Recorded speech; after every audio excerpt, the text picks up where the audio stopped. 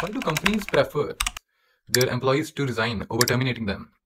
They don't terminate their employees because if the employee approaches in the courts against them in labor laws or civil courts, then what will happen is that this law particularly leans a lot in the favor of employees. But the question is, the MNCs or other companies are a lot rich already. Then why do they like care so much about a single employee? Even if he wins the case, then what harm he would do to the company? See, the answer to that thing is that the this law leans in the favor of employee, and not only this, there are innumerable re remedies which fall in the favor in the ambit of employee. Suppose one of them is like if you are terminated then the company will have to pay you your salary till next 90 days till you find another job.